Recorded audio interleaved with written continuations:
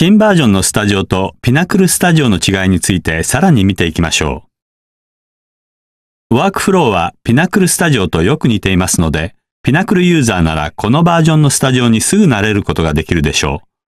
う。しかし制作コンセプトには違いがあります。ピナクルスタジオではタイムラインのトラック数に制限がありました。スタジオでは使用しているバージョンにより6つから無制限とトラック数に幅があります。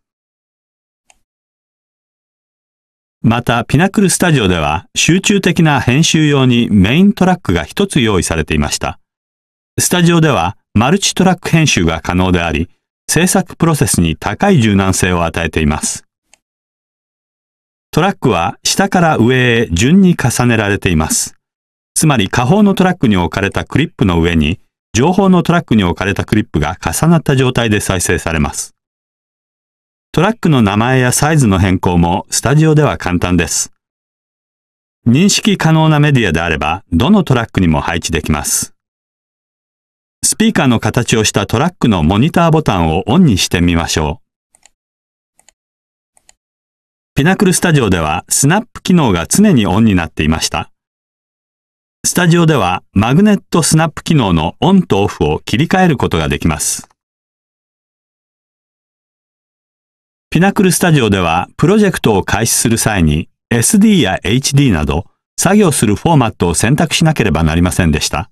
フォーマットを変更したい場合はプロジェクト全体を再編集する必要がありました。スタジオではフォーマットをいつでも選択できます。必要に応じてプロジェクトが自動的に再レンダリングされます。ムービーをどのフォーマットで見せたいかを決定する際に非常に便利となるパワフルな機能です。YouTube、iPhone、その他の出力フォーマットなど、スタジオならどれでも簡単に作成できます。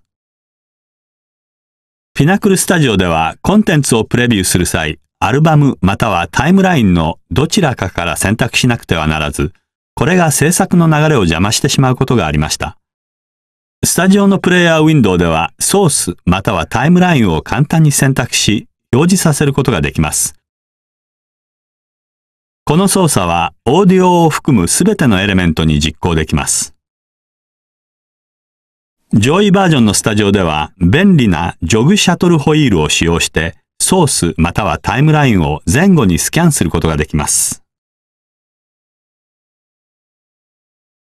また上位バージョンではソースウィンドウを使用してインとアウトの位置をマークし、そのクリップをプレビューから選択したトラックの再生ヘッドの位置へドラッグすることができます。これなら簡単に編集位置を見つけ選択することができます。ピナクルスタジオではオーディオツールとビデオツール用のツールボックスを開く必要がありましたが、スタジオではボイスオーバー、スナップショット、トリム、スマートツールがタイムラインの最上部に表示されており便利です。上位バージョンのスタジオをご使用の場合、使用するツールだけが表示されるよう、ツールバーをカスタマイズすることもできます。複数のトラックを同時にトリムするには、トリムエディターを使用します。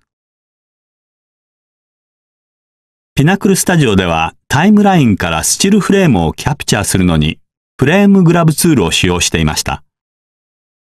スタジオではツールバーのカメラツールを使ってスナップショットを撮ることができます。ピナクルスタジオではピクチャーインピクチャーやクロマキーエフェクトを使用する際、ツールボックスから選択していました。スタジオでは必要なエフェクトはすべてエフェクトフォルダーに入れられています。タイムラインのクリップをダブルクリックするだけで、これらのパワフルなツールを利用できます。スタジオではオーディオミキサーはタイムラインにあり素早くアクセスできます。またスコアフィッターにもタイムラインからアクセスできます。もちろんステレオスコピック 3D ワークフローもスタジオに完全統合されています。新バージョンのスタジオで使いやすい新ツールの数々をどうぞご利用ください。クラスオンデマンドのポール・ホルツです。この基礎編チャプターでは、ピナクルスタジオ16のクリエイティブなパワーと柔軟性について簡単にご説明しました。